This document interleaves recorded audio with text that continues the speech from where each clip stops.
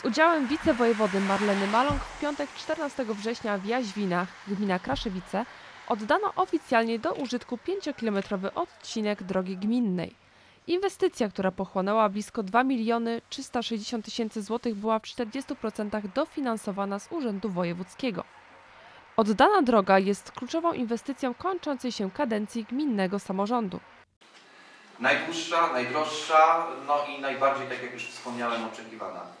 Ja w tym miejscu bardzo serdecznie chcę w pierwszej kolejności podziękować mieszkańcom Jaźwin za cierpliwość i wytrwałość. Po trzy razy, trzy razy próbowaliśmy.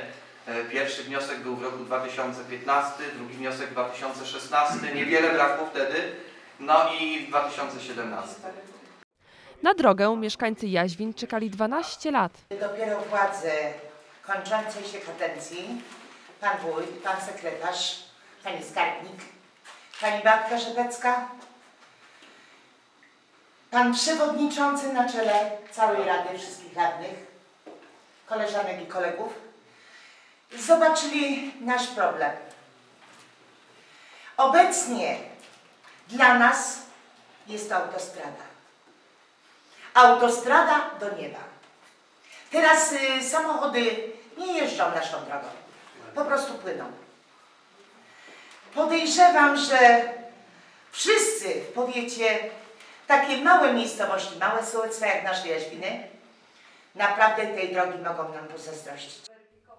Słów wdzięczności wójt nie szczędził również pod adresem wicewojewody Marleny Maląg, która jak zauważył mobilizowała, wspierała i podpowiadała. Jeżeli chodzi o inwestycje drogowe, również i w Wielkopolsce, w tej gospodarnej Wielkopolsce mamy wiele do zrobienia.